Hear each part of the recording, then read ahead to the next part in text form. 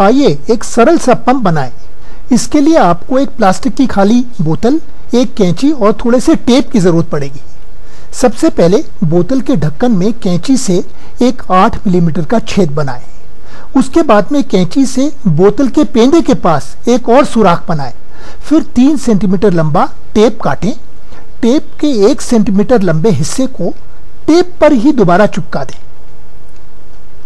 इस तरह से थोड़ा सा हिस्सा टेप का दोहरा हो जाएगा और वहाँ पर कोई भी गोंद नहीं होगा। फिर टेप को आधे में दो हिस्सों में काटें।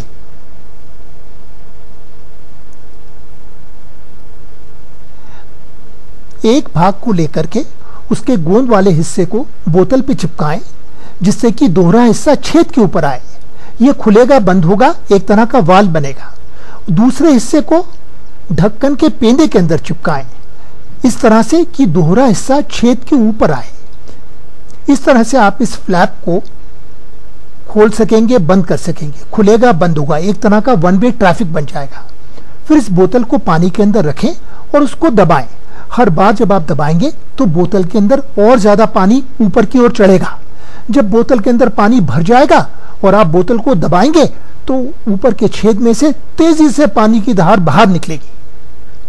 जो बोतल के ऊपर वेल्व लगा है, उसको आप खुलता और बंद होते हुए देख सकते हैं। ये वाकई में एक बिल्कुल सरल सा पंप है, क्योंकि प्लास्टिक की बोतलें हर जगह फेंकी जाती हैं, वो वो हर जगह उपलब्ध होती हैं।